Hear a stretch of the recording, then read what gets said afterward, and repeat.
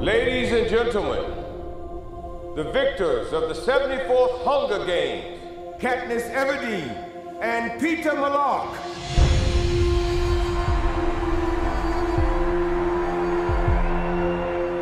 She's not who they think she is. She just wants to save her skin. Simple as that. She has become a beacon of hope for them. So she has to be eliminated.